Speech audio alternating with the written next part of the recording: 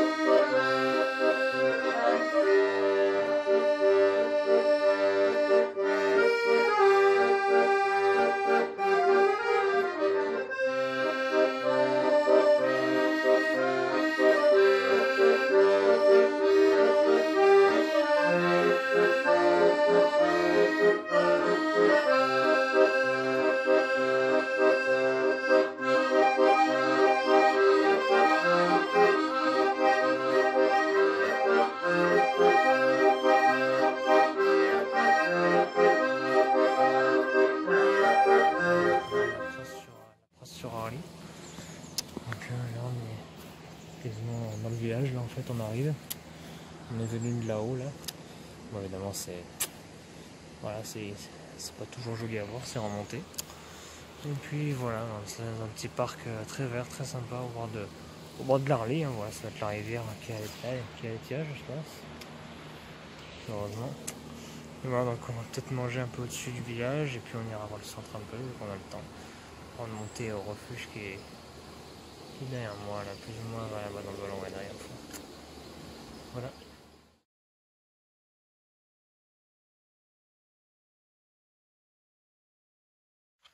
Voilà, donc on vient de finir de manger. Là, on est parti hein, pour le plan de l'art. on est sous, plein, sous plana, par contre, c'est ce qui marque sur le panneau. Et donc là, le refuge, c'est 1h30. Donc là, on va on va aller tranquillement et puis normalement on va arriver vers plus ou moins 15 heures.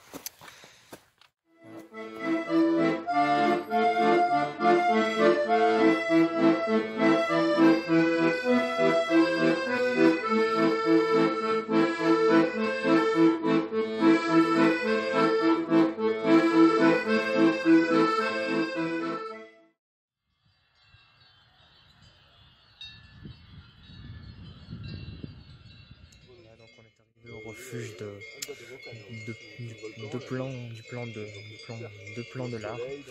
Voilà, du plan de l'art. Euh, je sais plus quelle altitude. Et voilà quoi. Donc, euh, voilà, c'est le refuge, là c'est la partie bergerie où les propriétaires font le lait de vache, vous entendez les cloches derrière. Donc voilà, là on est dans une petite chambre encore tranquille. On aurait pu manger dehors, mais c'est pas top parce que la pluie qui sur Albertville et ça nous arrive un peu dessus. Donc, euh, il, y a, il a plu il y a quelques minutes. voilà, donc euh, demain pour la Geta et puis normalement si, euh, si on est en forme de la Clusa jusqu'au refuge de la Bombardée Voilà. Donc si vous savez, n'hésitez pas à vous abonner au clan des vaches. Au, cloche des vaches, pardon. Et voilà.